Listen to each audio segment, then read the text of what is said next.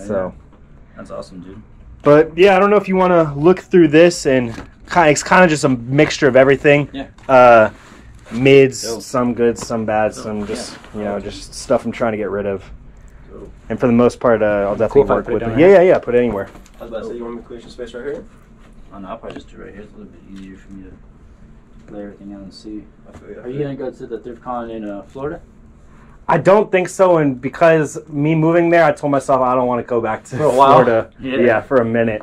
And the vendors in Florida aren't the same like Atlanta. Like Atlanta was crazy. I'm thinking about going to Florida. What would be the best thing to bring to Florida? I'm. I was thinking about not even bringing jackets. yeah, Would I jackets mean, even be worth bringing? probably not. Maybe like one small rack, but mainly just t-shirts. But if you look at Atlanta, a girl that went was complaining that it was just t-shirts. You know, so I guess it's to each his own. Yeah. But um, I was looking at the ThriftCon videos, and they sold. Uh, those were personals. I just don't wear hats anymore. Um, ThriftCon sold ten thousand hats, or ten thousand hats, ten thousand tickets. That's. I saw that. I was like, I was like, is that true? And then like they were talking about it on that vlog, and I was like, dang, ten thousand tickets. And I was all adding up like how much tickets were. I was like, dang. That's, Yeah, they, That's they definitely good. they said it was the best one uh, that they've ever done. But yeah, it's kind of crazy that they. Uh, I didn't realize that many people were into vintage. That you know, Atlanta. Yeah. I think so. I, I was thinking of more like I think we sold the most streetwear out of everything. yeah, Like I had like probably two streetwear racks, and I probably left with like seventeen pieces of streetwear. damn, that's Yeah. crazy. And I was Maybe because like man, one of you, you were maybe one of the only ones with streetwear because everyone else had That vintage. might- that might they didn't even it, think about it, you know. that might be it. But I figured Atlanta streetwear. I mean, it kind of makes sense. Like there's so many rappers out of Atlanta that like Yeah. I'm pretty sure streetwear is pretty. Yeah, there was a lot of celebrities I think that went through that people didn't even realize, you know. Yeah, they're like low-key low key, yeah, exactly. Or just wearing. I've seen people wearing like full face masks too. They you just know. don't want to. Yeah, they don't want. They don't want anyone to know. Yeah, But yeah, it was pretty cool. I mean, I, I liked it a lot. yeah, Dang, this thing's sick. yeah. That was in my Oh. personal. It's crazy. Yeah, it's 100 percent wool. That's dope though. Those might be a little deformed because they were in my back of the truck, but this should be good to go. Figure something out. Billie Eilish. Something. It's the Billie Eilish uh, Murakami? Murakami. Yeah.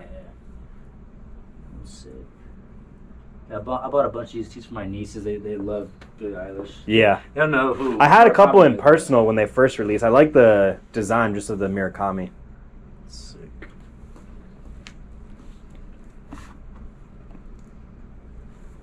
Do you get people that come in and uh, sell, or do you mainly outsource uh, inventory yourself? We get a bunch of people that come in and sell, but it's probably just like five, ten items at a, pe- at a time. Yeah. There might be like four or five people that actually bring in stuff like this, Yeah. like a whole bag worth. Yeah. But um, I try to like buy uh, big shipments from like Dallas or like Cali or something. Yeah. Yeah, there's definitely stuff. enough wholesalers for sure. There's a bunch of people um, that are getting into vintage, so it kind of helps out. But then again, you can't count on like people just walking in the door. Yeah, no, like, definitely not. A lot of people will end up stopping after a while. Yeah. The well will run dry eventually. Yeah.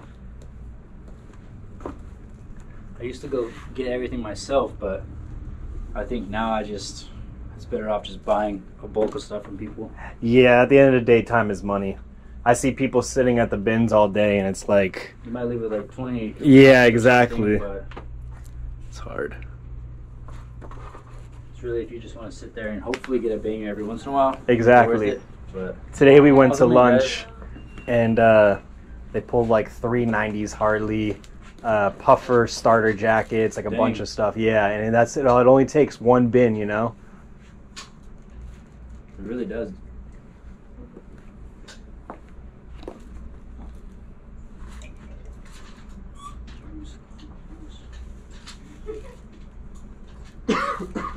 I haven't seen this shirt in a while. Yeah, it's hard. Sick. The only one listed on eBay is for like a hundred or two hundred bucks. It's crazy. But it was in my personal for a minute. And then now I'm just kind of just wearing Harley stuff, so I just basically took anything that's not Harley and uh, It's just so hard to sell like the obscure tees. Yeah, like, people won't that- know that what it exact is. Person that would want it. yeah. But no, obviously. I'm not. I'm not gonna be taxing on it like the. Sick.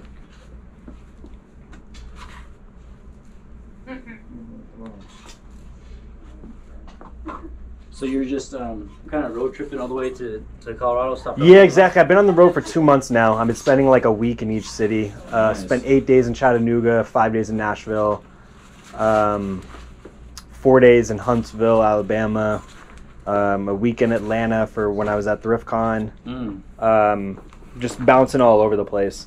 But now I realize I'm not gonna like now that I'm hitting Colorado so soon, I'm not gonna stop. Like I'm gonna go up to Wyoming or Montana, uh, the Dakotas. I'm just gonna keep traveling and making content.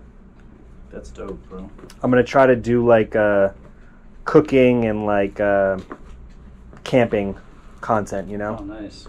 Yeah, I've seen a lot of um, camping, uh, urban camping stuff. On Yeah, YouTube. truck camping and all that. I, I built a platform in my uh, truck uh, with a full mattress and everything, so I literally just camp out of that. That's dope. Yeah, I saw. I was watching videos actually last night of like urban camping and like people were like teaching people how to. It's crazy the in the views that get on it. Yeah. It's crazy. So that's a, a band shirt. I have to look up the name again. I don't. It's not like a really known band, or at least to my eyes, it's not.